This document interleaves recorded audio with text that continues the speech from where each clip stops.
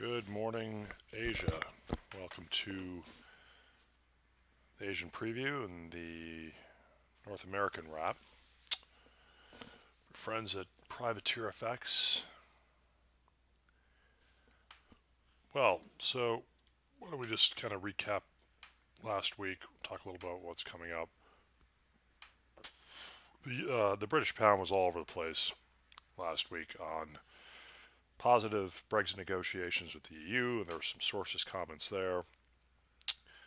Um, it looks like they are getting closer, and uh, you know the markets seem a bit skeptical, but things are, are definitely moving in the right direction for some sort of uh, agreement from both sides of the both sides of the pond. So when we go to the weekly and just see where things closed. Um,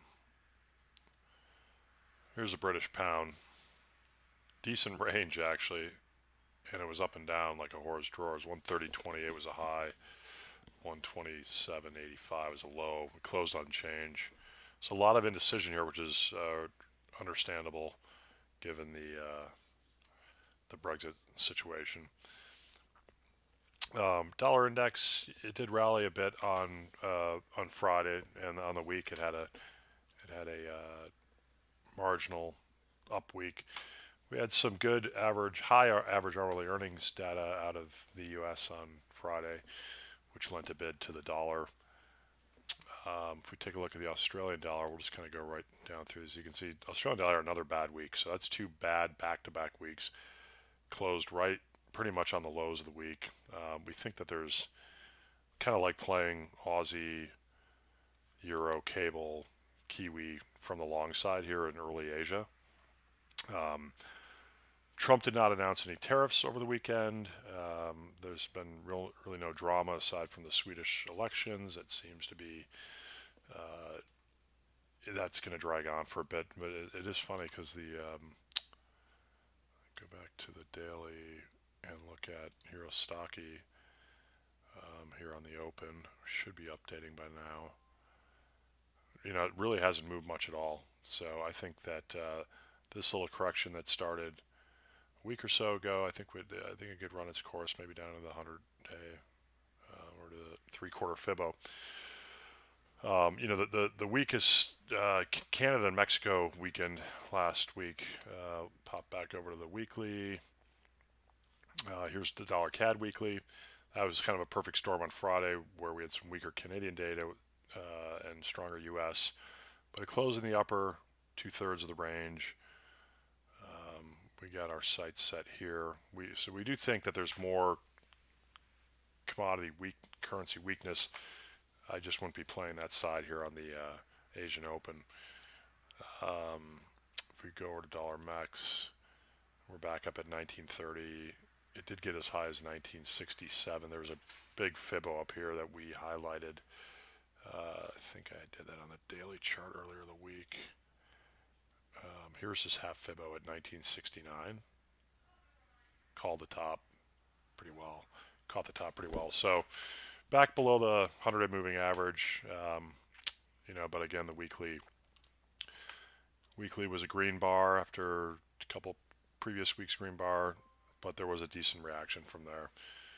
And that's just it's just NAFTA. A lot of a lot of the week was was pretty much um,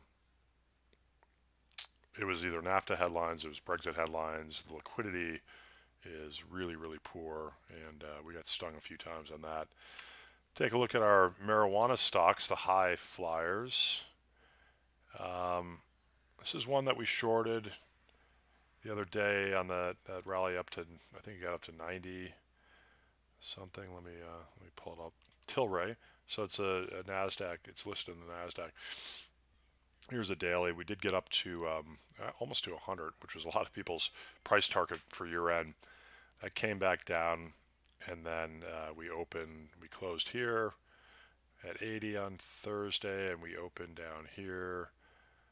Uh, 75-ish and uh, settle here around 78. So pretty parabolic chart. We think there's some more backing and filling. I wouldn't be surprised if it goes back to, you know, maybe even fill this gap down 44 to 50, somewhere in this zone. Um, you know, again, these things have gone. The rate of change on them is uh, is definitely parabolic. Cronos, uh, this thing's messy. I mean, just look at these daily charts. It's just gap open higher, gap open lower. Here's Canopy Growth, who's one of our favorites in this space, hanging in there. Again, we expect some corrections in these. Um, let's see what this uh, let's see what this headline is. I just saw this. Marijuana stocks haven't felt much love in the past from Wall Street. Scotts Mir- Miracle-Gro and Scott's prime business selling lawn and garden products. So designation as a marijuana stock comes with an asterisk. It's funny they're going to be big suppliers to all of these, um, to all of the uh, growing facilities, the cultivation facilities, the growing facilities. So maybe that's one you put put in the bottom drawer and take a look at it in five or ten years. Uh, crypto had quite a week. Uh, I believe I read Ethereum was down. It's under 200 bucks, which we haven't been down here in a while. Let's take a look at the weekly. Yeah, we haven't been down here since June 2017 levels. We're back down. There's your parabolic rise, collapse. So this stock is down from the highs like, you know, 70, 80, 90% down. Um, looks horrible.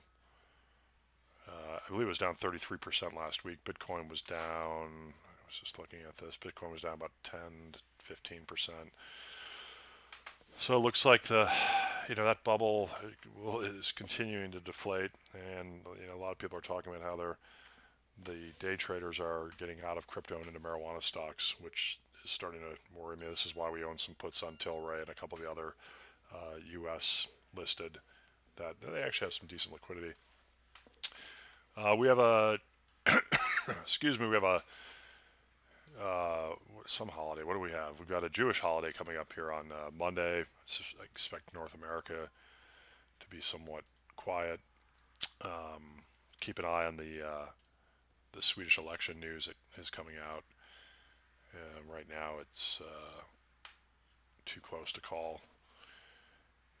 And uh, keep it. What else are we looking at? Uh, we got Japanese GDP. I believe it's a second read today, but not much data. Um, we're kind of getting ready for the end of next week, which or the end. Sorry, the end of this week. We have a couple uh, central bank meetings. So good luck trading, and we will speak to you on the European Open. All the best. Cheers.